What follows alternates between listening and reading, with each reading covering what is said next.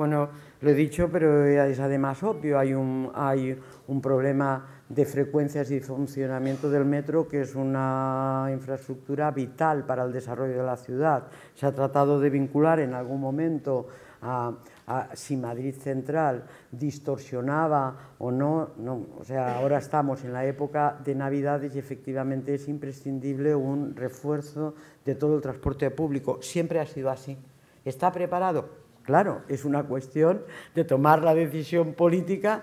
Eh, nosotros en, consorcio, eh, la última vez que hemos tenido Consejo de Administración, pretendíamos que hubiera una previsión de incremento porque creíamos que la demanda sería mayor del 2% que se planteaban en los presupuestos del consorcio para el transporte público. Es un momento vital para el transporte público, vital.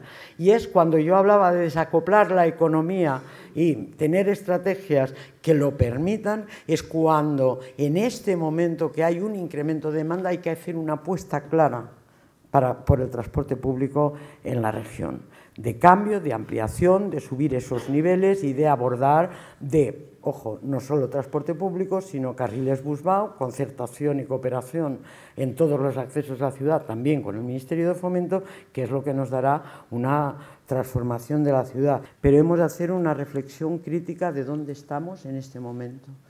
Y este momento, por esto he hecho una apelación en, la intervención a la cooperación institucional, que no nos podemos permitir el conflicto permanente. Yo, por sistema, no suelo hacerlas miren ustedes la hemeroteca y, verán el tipo de, declaraciones y apelaciones que hace ese ayuntamiento. El metro tiene mucho que mejorar, hay que sentarse, la comunidad tiene que abordar un conflicto de falta de frecuencias y de falta de capacidad, posiblemente por falta, no, no corresponde a este gobierno, sino viene de mucho antes, de no haber hecho una previsión de crecimiento de la demanda del transporte público en condiciones, significa mm, en este momento conflicto laboral, necesidad de más coches, necesidad de más vagones, perdón, de, más conductores,